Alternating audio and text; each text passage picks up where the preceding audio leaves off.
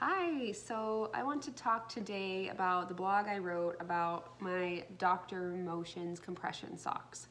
Um, I wrote this blog quite a while ago. I think it was with my first pregnancy a few years ago. And I've tried a lot of compression products since then, and this is the one that seems to be the most popular, and so I wanted to review this one on video. So Dr. Motion, you can find them in most um, clothing stores, like mega, you know, supermarket stores. You can find them very easily on Amazon. So this particular set that I got was this floral pattern and I got a pack of six that were different colors and it was about $35 when I got these a few years ago. So very good deal actually for compression socks because compression socks can get actually pretty expensive. So Compression socks are a really good option for anyone that's on their feet a lot of the day. If you're um, a doctor, a nurse, a teacher, you're just standing, especially if you're standing on some sort of um, hard surface.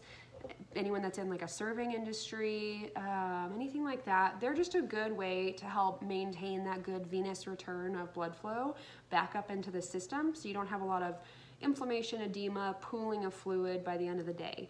For me, like I mentioned, it was specifically problematic during pregnancy where I have this big increase in blood volume and all of a sudden I started to get spider veins around my ankles and they were, it wasn't just, you know, not that cute, right? They actually get kind of painful, they get red or bruised looking, puffy. So if I was busy standing most of my day, I would come home, my feet would really hurt. and, um, and then also if I was being super active, like exercising even just for an hour, it's just a lot of pounding where you're getting a lot of overload of those veins and you may be making spider veins worse if you do have them. So compression is a really good option. So these Dr. Motion socks are um, graduated compression. These are not medical grade, right? So this is similar to what you might find for like a marathon running sock, right? So I got knee high. That's pretty common in the running world. Um, they are very, very cheap compared to typical running socks. So marathon compression socks are gonna be up to like $50 a pair.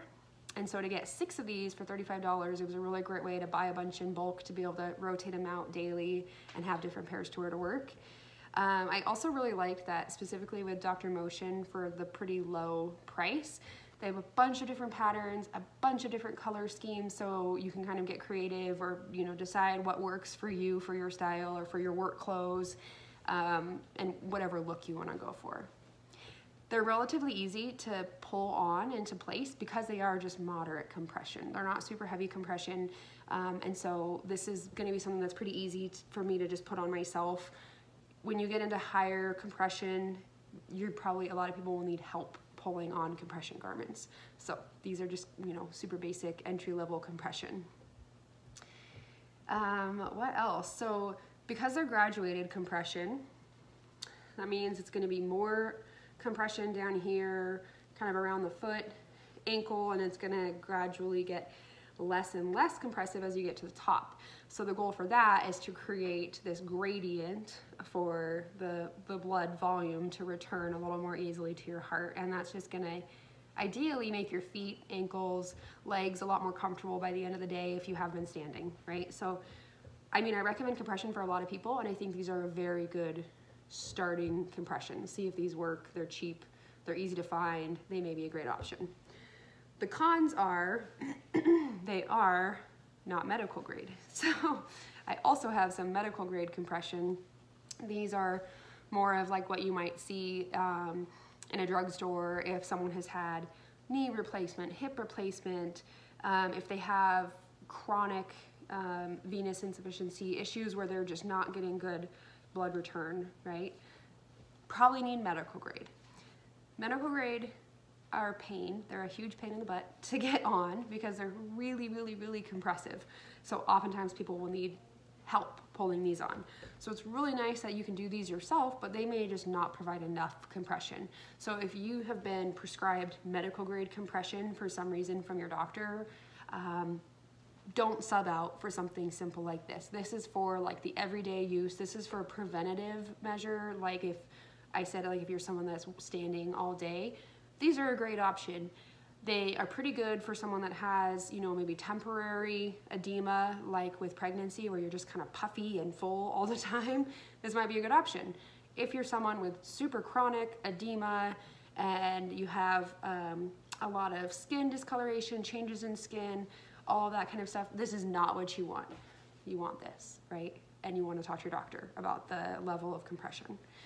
Um, this one doesn't even come, it doesn't say this is the amount of pressure, it just says moderate. So with these, you're gonna get different like weights of compression that you can, you can get prescribed. So this is kind of one size fits all. For me personally, anecdotally, um, I still had some progression on my spider veins in those pregnancies where I was wearing these. So it may not have been enough compression for me, but anecdotally also, it did feel a lot better when I was working out wearing compression. They are hot though. Any compression garment, if you are, let's say, pregnant in the middle of the summer and you're trying to get out and walk, putting this on, putting like your belly band, all that kind of stuff on, you're gonna be hot. So keep that in mind also. They're not meant to be super breathable.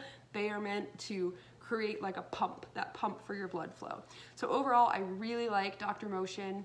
These socks, cheap, um, accessible, one size fits all. You can get a bunch of different colors, patterns, and they're gonna provide that preventative compression for people that need it.